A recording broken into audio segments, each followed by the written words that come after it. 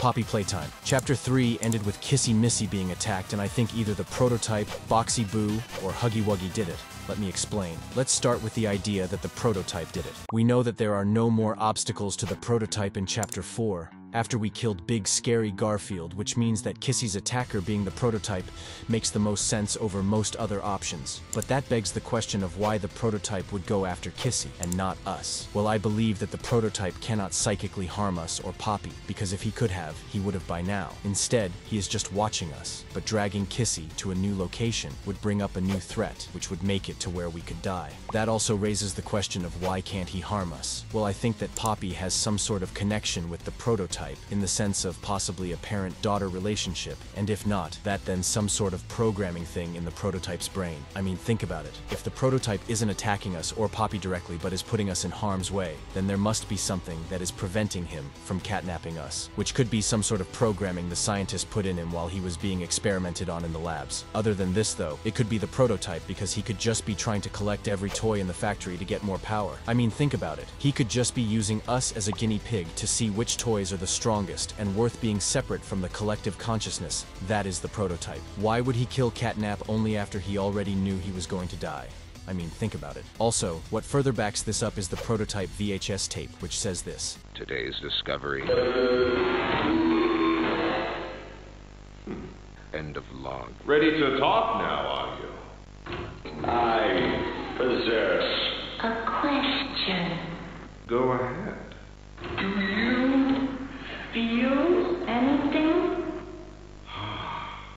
Question referred to what exactly? You stick us, beat us, tear at flesh. Do you feel it? There's a secret inside you, 1006. Valuable beyond all measure. I cut and prod and burn at it. And I get closer with each session. So speak or don't. Fight or give in. Regardless, I learn something new about you every day. It excites me. Thank you.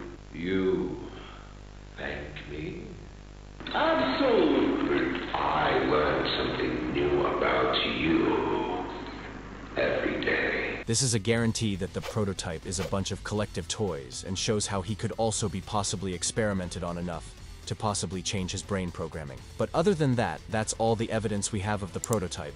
Another reason could possibly be that the developers want to release more chapters and make more money by no instantly taking us down to the prison. The next candidate for Kissy's killer is Boxy Boo. Boxy Boo at first sounds a little bit strange, but I think that it has the highest probability possibly. I mean, think about it. Boxy Boo is the one character in the Hour of Joy VHS tape that was not accounted for and also is the only toy that is not in Poppy playtime yet. Not just that, it would make sense of why Kissy is screaming because Boxy Boo is extremely ruthless as seen in the VHS tape. I also think it's Boxy Boo because leading with the prototype theory from earlier, he could have sent Boxy Boo as a final hope on stopping us before he had to intervene himself like Thanos. Not just this, but we know that Mob Entertainment wants to take Poppy playtime in a more scary direction compared to Chapter 1 and 2. Our brains are naturally scared of things that can kill us and things that can hurt the body with absolutely no remorse. An example of this would be a bear. Everyone is scared of bears when they see one in the wild because it will kill you. Think of Boxy Boo like a bear,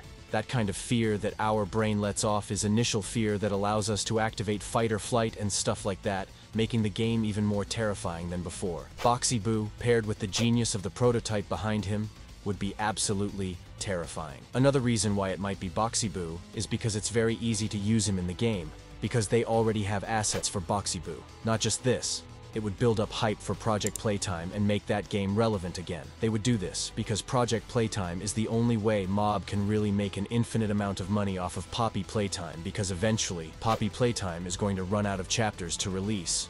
Then what are they going to do? And another thing about Boxy Boo is that he is red just like the subscribe button that you should click right now. And while you're at it, click that like button too. That concludes my case for Boxy Boo.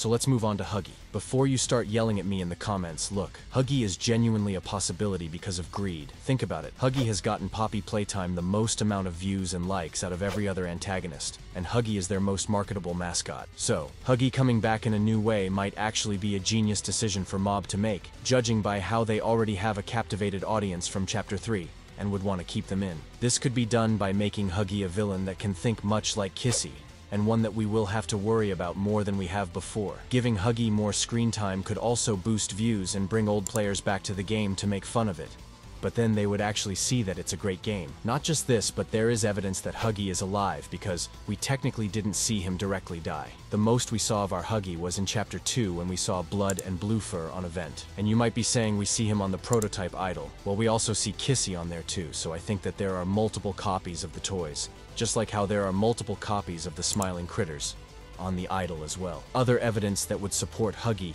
would actually lead me into the final theory, which is that the whole Kissy being attacked thing is a hoax made by Poppy. This sounds very outlandish, but hear me out. Poppy already manipulated us beforehand to stay in the factory and help take down the prototype. But Poppy makes it clear that now Catnap is dead, there's no more obstacles to the prototype. So we are kinda used up. She can use the people for this. Not just this, but Kissy would have gladly ripped our head off if it wasn't for Poppy suspiciously showing up at that exact moment to stop her, which is weird and almost like it was planned. Not just this, but the way Poppy talks to us at the end of chapter 3 is very suspicious. She says that we just have to go down and save people, and that there's one thing she didn't tell us, but then so randomly Kissy starts dying and we have to go back up while she says this, want a part of the plan. This is extraordinarily suspicious because number one, why is she talking about a plan?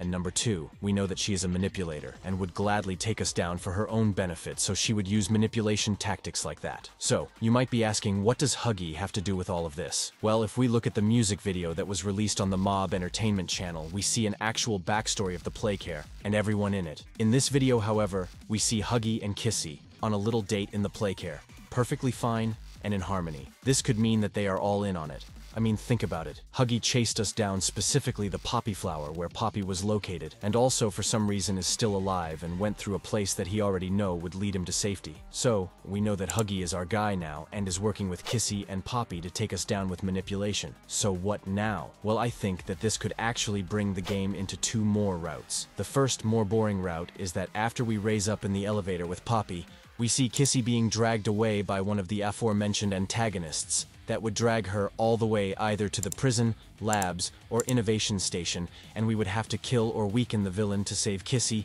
and go on to Chapter 5. The second more interesting route is that we rise up in the elevator with Poppy and see Kissy being dragged away by Huggy. Huggy makes us go far throughout the factory until we hit a dead end, where Kissy gets up and Poppy, and Kissy push us into a hole leading to the prison, and they say that they don't need us anymore. After we go in the prison, which seems to be a very dark, creepy place, much like where we saw Dog Day, but with much more solidified stone walls, like how we would see in a game like Angry Birds 2 for the iPad Touch 2013 version. Then we would battle our way through broken toys to get back to Poppy and get our revenge. Another possibility with this is the prototype actually helping us and explaining the real lore of the Hour of Joy and everything that actually went down. But past that, there's nothing else to say. Subscribe, or else no. Chapter 4.